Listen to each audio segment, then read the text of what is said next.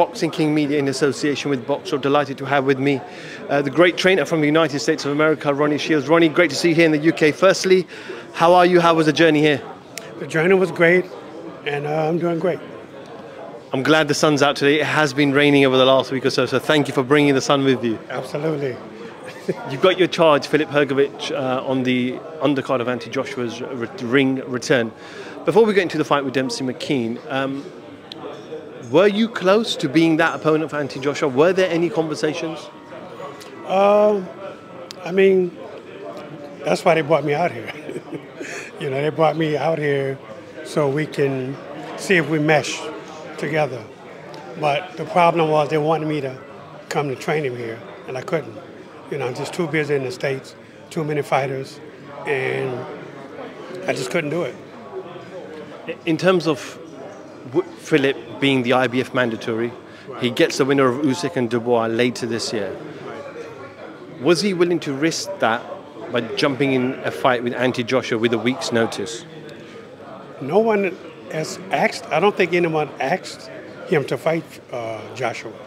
So, I mean, but Filip was a fighter. He would fight anybody. So it, did, it wouldn't have made a difference to him. Would you have? Do you think he would have risked that though, that mandatory situation, or, or would that have been made up with the financial reward of fighting Anthony Joshua at the same time? Well, you know, look, my guy's a very confident fighter.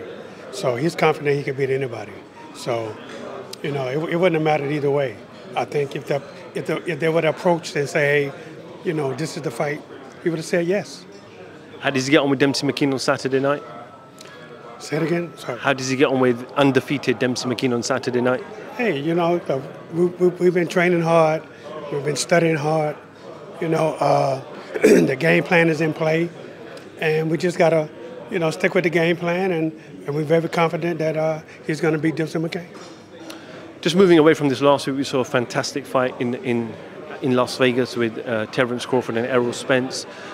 Just want to get your reaction to Terence's victory and the and the and the manner of victory, and because everyone expected this to be a 50-50. Yeah, I mean, I was expecting a 50-50 fight, and you know, but just looking at both resumes, you know, that's all you can come up with. You know, it was hard to pick a clear winner just from what each guy has done, but obviously Terence Crawford, you know, was the better fighter, and he came out with a better game plan, and you know, he won the fight. So. You know, it's no excuses, no nothing. You know, it just it is what it is. Terence Crawford was the better fighter that night.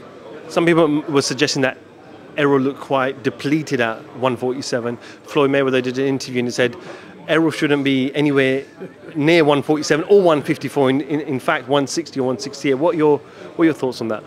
Well, you know, I've been knowing Errol a long time, and he's not that big of a guy. But, you know, I, I understand that he probably outgrew welterweight division, and I agree that maybe he should have been at 154. But look, he he felt good that he could make 147, and it's not an excuse. He lost to the better fighter. Should he should he take the rematch? Absolutely. Look, he's a fighter. That's what fighters do. You know, they challenge themselves. So if he feel he can do better at 154, he definitely should fight him at 154. Where do you rank Terence Crawford after that victory? Pound for pound, number one in the world. You've got your eye on obviously the winner of Usyk and Dubois. Um, how do you see that fight playing out? You know what? Usyk is a hard guy to fight. You know, and if you not actually prepared to fight Usyk, you know, there's no sense in getting in that ring. You know, like you have to do a lot of studying to fight Usyk. And, you know, we, we can't think about Usyk right now because we got others in front of front of that. But, you know, I'm sure Dubois and his people have done all the studying they need to do. And we just have to wait and see what happens. Okay, Ronnie, appreciate a little bit of your time. All the best on Saturday night, and uh, yeah, we'll hopefully catch up with you after the show. Thank you very much. Ronnie Shields, Boxing King Media. Thank you very much. Thank you. Thanks.